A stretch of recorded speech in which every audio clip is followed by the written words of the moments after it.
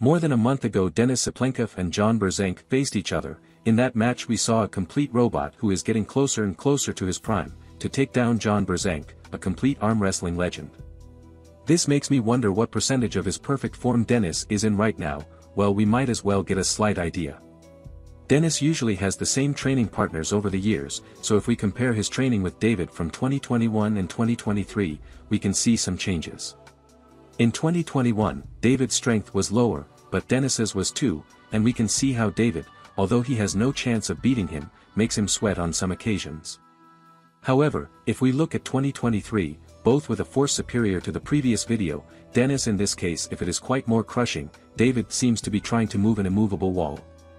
To this we must add that Denis had an injury in his arm, so he was retired these years ago without competing, this made him go down a lot of form, but now he is recovering and returning to his physical form of 15 years ago.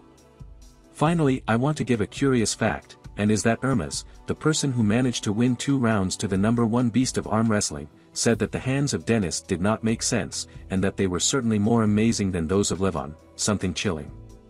Arm wrestling for nobody has talked and see you next time. Hermes, what do you think? Impressive hand. The, the most impressive hand.